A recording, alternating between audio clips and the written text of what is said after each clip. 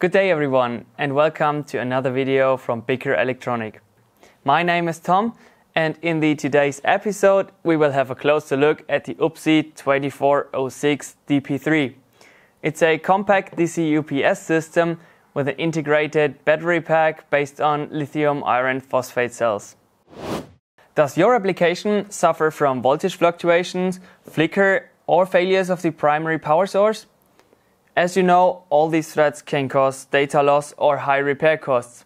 So nowadays, sensitive systems require a reliable and buffered power supply.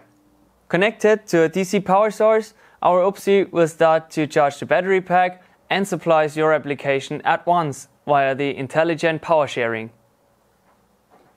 You can control and watch this process over the integrated communication interfaces and manage the tasks of the UPSI via the configuration software. This backup time allows you to save critical data, control sensors or drive motors.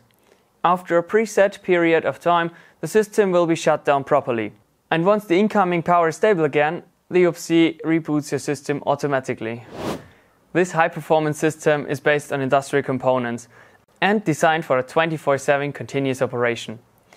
The lithium iron phosphate cells of the DP3 reach a 10 times longer lifetime compared to common lithium ion cells and work even more reliable in extended temperature ranges.